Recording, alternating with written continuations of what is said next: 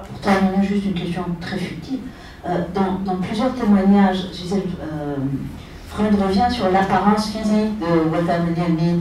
Euh, Walter Benjamin était passionné par la mode, par l'histoire de la mode. Elle revient sur son aspect un peu négligé, sur ses costumes. Mais alors c'est un jeu, c'est une plaisanterie, ou elle veut mettre en avant ce paradoxe entre l'homme qui écrit sur l'histoire de la mode, qui est passionné par la mode, et qui finalement c'est surtout euh, mettre en avant la, précarité qui était la sienne.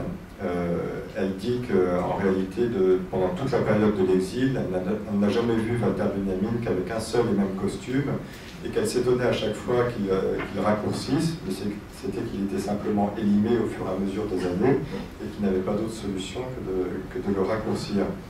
Alors cela pour dire qu'il y a une coïncidence assez... amusante, étrange, c'est qu'en avril 1940, Gisèle Freud fait un tout dernier reportage qui va être publié dans Life et qui est consacré à, la haute couture.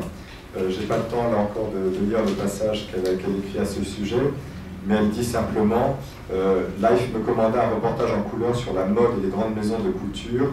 Là aussi, ça sentait la guerre, les robes étaient courtes et sportives. Et exact, à peu près à, à quelques mois après, à la même période, Benjamin avait proposé de clore les conférences du Collège de sociologie de l'année la, 1939, donc fin 39, par un exposé sur la mode. Et euh, apprenant ça, Georges Bataille, qui euh, était une des personnes qui s'occupait du Collège de, sociologie, euh, avait dit que non, c'était décidément pas d'actualité de proposer euh, un exposé sur la mode en pleine période de, de guerre et il avait préféré conclure, enfin, euh, confier la dernière conférence à Hans Meyer, qui lui prononça euh, euh, une conférence sur les rites des associations politiques dans l'Allemagne romantique. Euh, simplement, ça je vais le montrer en image. Ici, euh, ça sont des images que j'ai retrouvées euh, et que Benjamin mentionne dans son travail sur le passage Antwerp, où il y a tout un chapitre consacré à, à la mode pour dire qu'il avait une attention très très soutenue à cette question de la mode. Et euh, je voulais juste, pour finir, deux petites notations qu'il écrit à ce sujet. On a une perspective définitive sur la mode que si l'on considère que chaque génération voit dans celle qui l'a immédiatement précédée l'anaphrodisiaque le plus radical qui se puisse imaginer. La confrontation avec les modes des générations antérieures a donc une importance beaucoup plus grande qu'on ne le suppose d'ordinaire, et le costume historique, surtout au théâtre, a le mérite de l'entreprendre.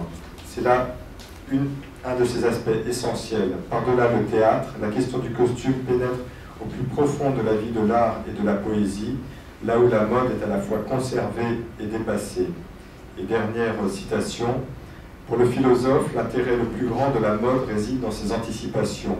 Il est bien connu que l'art précède souvent de plusieurs années la réalité perceptive, dans les tableaux par exemple. On a pu voir des rues ou des salles qui brillaient de mille feux colorés bien avant que la technique, grâce aux enseignes lumineuses et à d'autres dispositifs, ne leur donnât cet éclairage. L'artiste individuel a en outre une sensibilité à l'avenir certainement plus grande que celle de la femme du monde. Pourtant, la mode est en contact beaucoup plus con constant, beaucoup plus précis avec les choses qui arrivent grâce au flair incomparable que les femmes, dans leur ensemble, possèdent pour ce que l'avenir réserve. Chaque saison de la mode, avec ses toutes dernières créations, donne, certains signaux secrets des choses à venir. Qui serait capable de les lire connaîtrait par avance non seulement les nouveaux courants de l'art, mais aussi les lois, les guerres et les révolutions nouvelles, c'est là assurément que réside le plus grand attrait de la mode, mais de là vient aussi la difficulté qu'il y a à l'exploiter. Je vous remercie. Merci,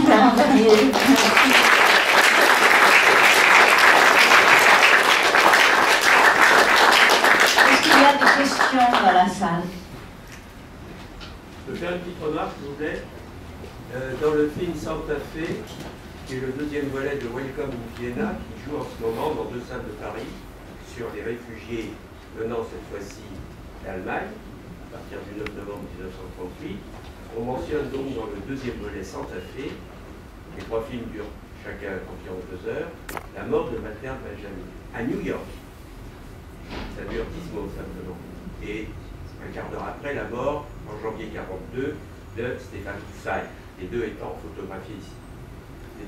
Mais euh, c'est une, erreur fréquente que de faire mourir euh, Benjamin souvent en, 1944. Ah non, attention Non, c'est sur le. Non, non, la, la, mort de... Non, non. Eux sont en 1940, ça se passe en 40. D'accord. On voit le film de 40 à 44. Euh, Donc on annonce la mort de Benjamin quelques jours après, et celle de un quart d'heure plus tard, ou une demi-heure après, celle de Stéphane Zweig en janvier 42 au Brésil. Oui. Ça, ça, dure 10 secondes, mais il est mentionné. Ah, c'est pour dire qu'il est mort. D'accord. Très bien. Entre, entre, réfugiés allemands au mmh. Brésil. Euh, d'autres questions? Madame. Est-ce que vous avez jamais eu connaissance à l'IMEC ou ailleurs de la version française de la thèse de Gisèle Freud, c'est-à-dire le manuscrit ou le tapuscrit en français de la thèse, c'est-à-dire de la traduction en réalité Non. Non, non. Mais euh, d'après ce que j'ai pu établir, il y a donc au moins euh, deux versions allemandes manuscrites qui existent de la thèse, dont une conservée euh, à l'IMEC, et au moins deux versions manuscrites en français, parce que les titres varient à chaque fois. Et elles sont où ces versions en français? Aucune idée. Il ça, peut s'expliquer euh, pour, euh, pour, les raisons suivantes, c'est que en, 42, donc enfin déjà en, en 40, Gisèle Freund quitte Paris, euh, elle quitte Paris euh, évidemment précipitamment, sans rien, et toutes ses affaires euh, sont laissées pour l'essentiel chez, chez Adrienne Monnier. De là, est-ce qu'après il y a eu, pendant la guerre ou après-guerre, des, choses qui ont été supprimées, qui ont disparu, qui ont été volées, ça, difficile de l'établir. Ce que j'ai retrouvé dans les archives de, de l'IMEC, c'est un dossier fait par Maurice Saillet euh, sur euh, la correspondance euh, de Walter Benjamin, où il relève en fait tous les passages dans lesquels Benjamin parle de Gisèle Freud et de, de Monnier. Et dans ce même dossier, à la fin, et j'en ai cité un, petit bout de phrase tout à l'heure, il cite une lettre de Gisèle Freud à Adrienne Monnier, la lettre où Gisèle Freud annonce la mort de Walter Benjamin. Mais à ma connaissance, toute la correspondance, je crois que vous le précisez aussi dans votre ouvrage, toute la correspondance euh, de Gisèle Freud à Monnier a disparu.